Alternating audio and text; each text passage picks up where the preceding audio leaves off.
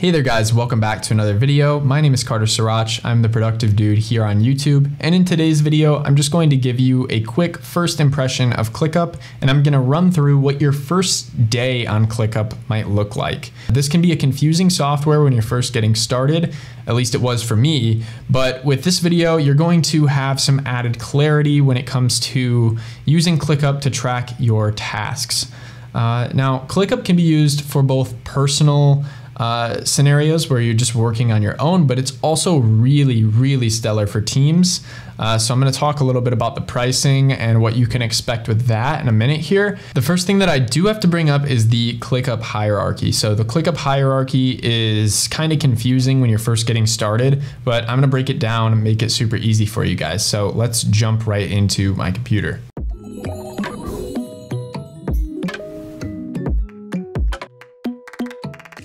So within ClickUp, we have workspaces, spaces, lists, folders, tasks, subtasks, and nested subtasks. I'm gonna make this really simple. Let's start with workspace. The workspace is your overall account. So this is your where you set your account settings. It's where you set up the different members that you have. This is this is basically your account.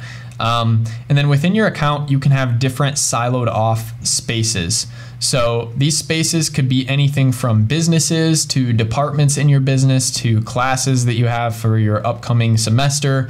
These spaces could really be any sort of taxonomy that you want to uh, put them into. One other thing to note about spaces is that these can be shared with your members however you want to divvy that up. So you can have members that have access to a full workspace, but then you can also delegate specific spaces so that they're private to certain members and so that other members can see them. So this can be useful if you're in a company and you have like a marketing team, maybe you make a space for marketing, and then maybe you have a finance team, you can make a space for finance and just give access to uh, you know, whoever needs access for those particular spaces. Lists can kind of be thought of as projects um, because they contain tasks. And that's the main purpose of a list is to hold different tasks within it. If you need multiple levels of tasks, that's why they have the subtask and nested subtask here. Like if you wanted to, you could have a list which is like a general area, and then you could have a task, which could be like a project, a subtask within it, which is an, which is a deliverable maybe, and then a nested subtask, which could be the actual brass tacks, the actual action that you're taking.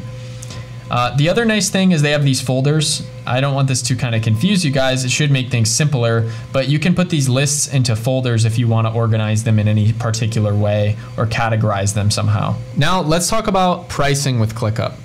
Like I was saying earlier, if you're a solopreneur or you're just a student, the free plan should work just fine. Unless you're starting to accumulate a ton of storage in there.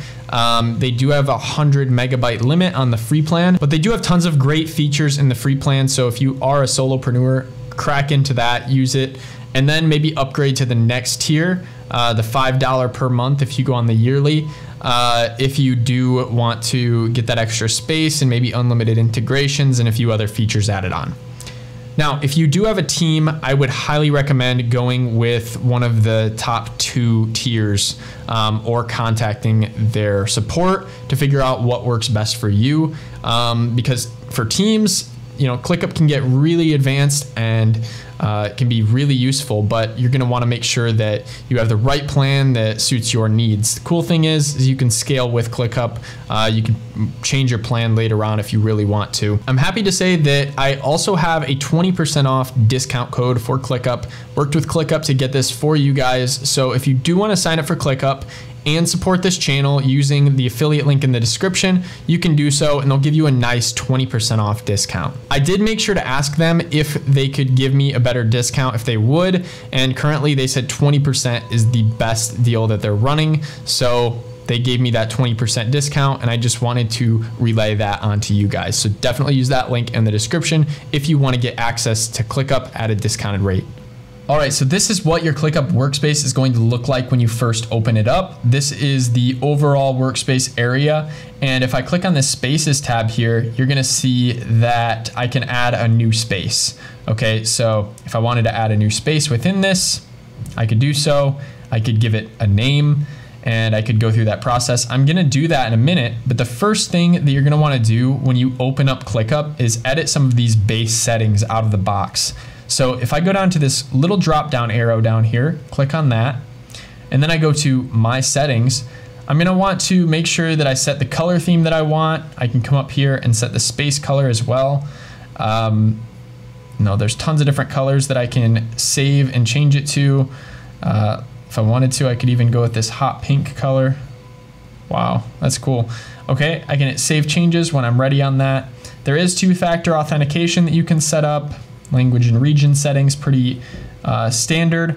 You can come down here and turn on high contrast mode or dark mode or both, whatever you want. Uh, the black does not look that great on dark mode, but if I changed it to like one of these bright colors, boom, that's super nice. Let me know in the comments below, are you a dark mode fan or a light mode fan? I need to know because I'm kind of impartial. Honestly, I, I usually leave it to the system settings to decide, but um, yeah, just let me know, are you dark mode fan or a light mode fan? And while you're at it, if you are gonna send any good signals to the algorithm, please drop a quick like really appreciate it. There's tons of changes that you can make in here. There's lots that you can mess around with. Um, but the next section that I would really pay attention to is the notifications section. So here is where you can set the different notifications uh, for different devices and you can also set up smart notifications which offers a delayed sending so you get a little bit of a buffer on your notifications. I would come in here and make sure that you have these configured how you want them uh, just because this is, uh, it, it, can be quite a few notifications if you just leave all of these selected by default. The next section to look at is the Click Apps section. If anything, this is just really fun to look at and to see all the different features that you can enable if you ever need them on ClickUp. I mean, they've created an entire Loom replacement that records your screen for you. They've replaced Google Docs with collaborative editing tool. Uh, they've got this automation tool that's coming in. So they've got tools for everything. And the nice thing is, is not everyone needs these. So you can turn these on or off based on your needs. Pretty cool. There's a lot more we could dig into. We could go into our people, our teams. Uh, we could edit a lot of these settings, but for right now, I'm going to go back and we're gonna create our first space. So when you're creating a new space, you might get this pop up if you don't have any spaces created already. I'm just gonna close this. In case you didn't get that pop-up, you can just hit new space and that's how you get to this. Okay, and then you can give it a name. So I'm going to give this one a name of Humways. I'm gonna hit next and I'm gonna select our agency's colors and a little icon for the Humways section. And here we can decide who we wanna share this with. So if we wanna share this with our entire workspace, all of our members, we can just leave this default workspace selected. If we want it to be private so that only certain members can work in this space, we can hit this private button. then you can add the people that you want right there. Just hit next. This is where you decide what types of statuses you want for your tasks. So I'm gonna go with the Kanban. I already pre-created this one. Uh, it has stuck, in progress, and to do in the active statuses. So these mean that the task is still in progress essentially uh, in some way or another. It might be stuck, it might be in progress, it might be a to on your to-do list, but the point is it's not done, it's still active. You can also create a done section so that when you select this status, it will indicate that your task is done and you're ready to move on to any dependent tasks that you have down the pipeline. A closed status, complete, means that it will completely make this task disappear uh, and it will kind of archive it, if you will. I don't have a done task right now, and I don't need a done task because uh, if my tasks are done, I'm just gonna hit complete and they can disappear. And that's fine with my current setup. And here's where you can decide which click apps you want for your specific space that you're creating. So I'm gonna go through and read on each of these which ones I wanna keep and I'm just gonna select those really quick. Once you're done, hit next. Next, you can decide on which kind of views you want for your different lists. I'm just gonna go with the board and the list view, that's the default. Uh, let's set the board as the default though. I like the boards better for tasks in my opinion. I'm gonna hit review space, and this is a really cool feature. It allows you to see all of the changes that you're about to make to this space. I really like this final feature here because it gives you a chance to make sure all of your settings got put in correctly. You shared it with all the correct users, no more or no less. And you hit review changes, create space, Boom. Now we've got a Humways space. And it's going to create our first list underneath that as well. Okay, lists can be color coded. So we can add or edit these colors here. So right now I've got one for internal, one for clients. I could create another one that tags this in some way if I wanted to. I'm not going to right now. I don't see a use.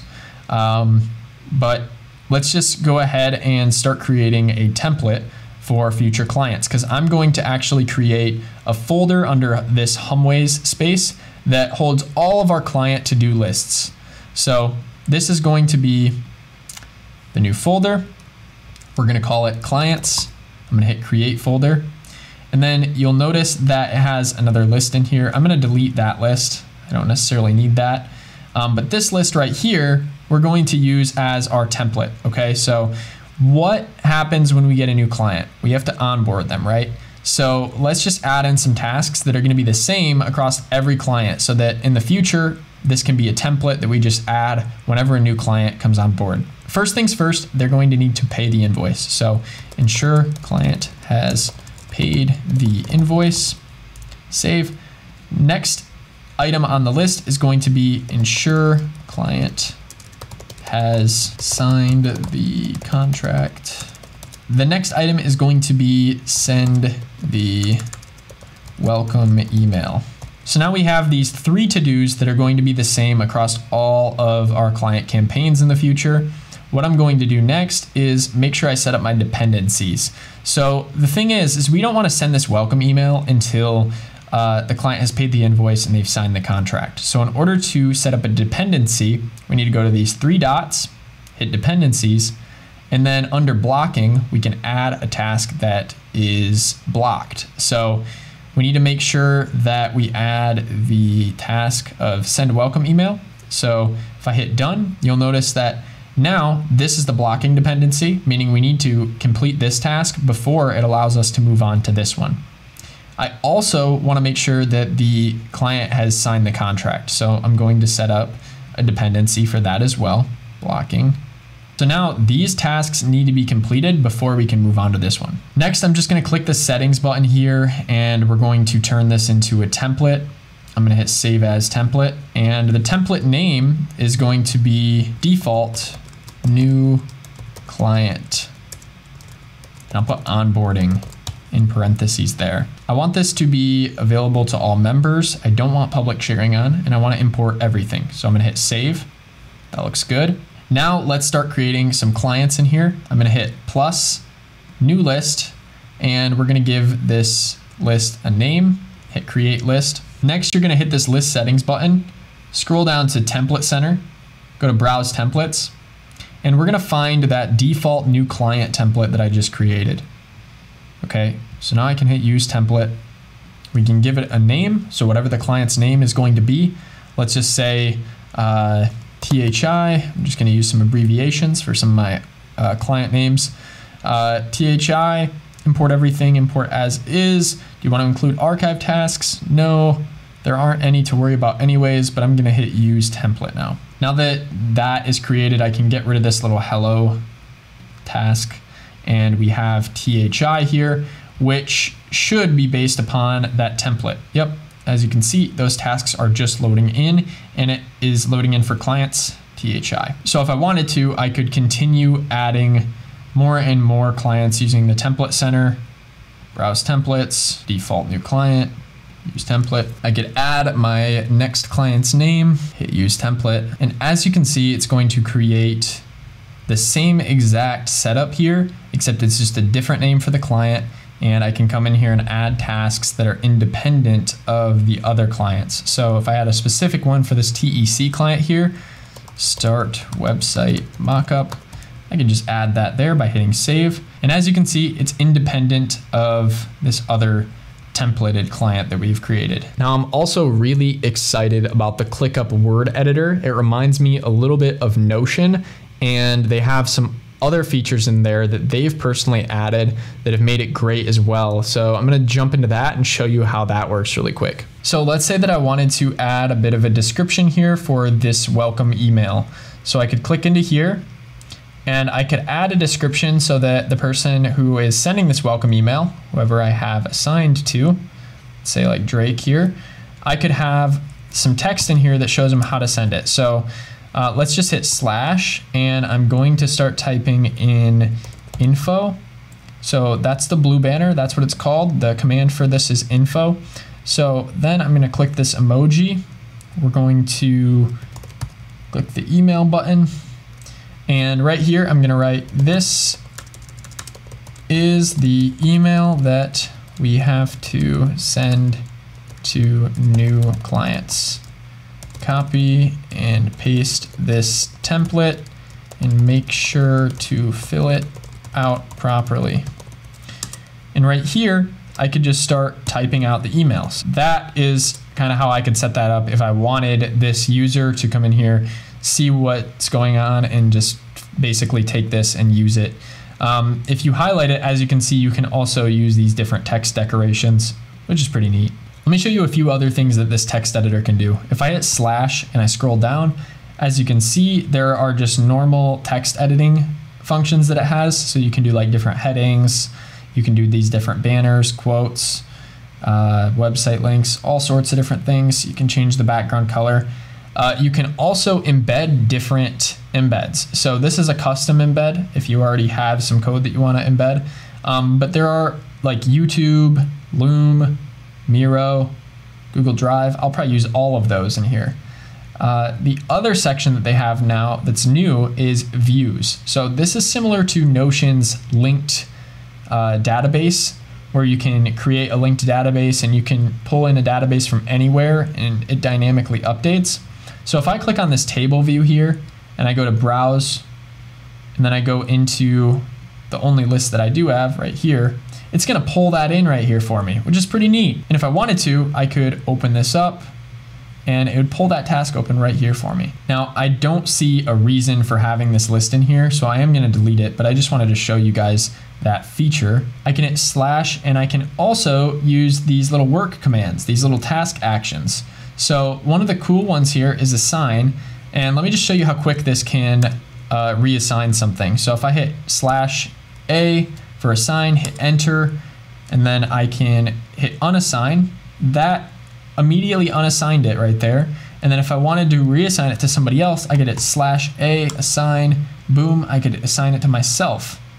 And as you can see, they have the integrated chat box right here that's just related with a specific task as well. So far, ClickUp has been a blast. I've really started to learn a lot about how to use it, and I'm looking forward to creating more in ClickUp. But I just wanted to share my first impressions and a bit of a uh, guide for users that are just entering ClickUp who want to just learn a little bit about what the ClickUp hierarchy is and also how to utilize templates and just get things done quickly, add new tasks um, maybe how to structure things. So hopefully this video helped with just that. I've really enjoyed using ClickUp so far. There are some parallels within it They remind me a little bit about Notion, but to me, ClickUp seems a little bit better at task management than something like Notion.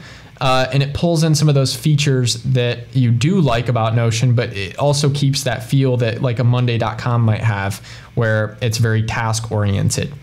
And I really like what they're doing with the Click apps uh, where they're adding different features that you can turn on or off based on your needs.